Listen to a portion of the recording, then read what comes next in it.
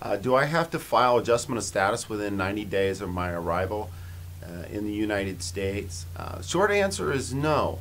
Um, when you come into the United States on a K-1 fiance visa, you must marry within 90 days. That is the important time frame to remember. Um, but you can you can file for adjustment of status any time after that. Now, keep in mind you cannot work or travel until you receive your green card or uh, your travel permit and your employment authorization document.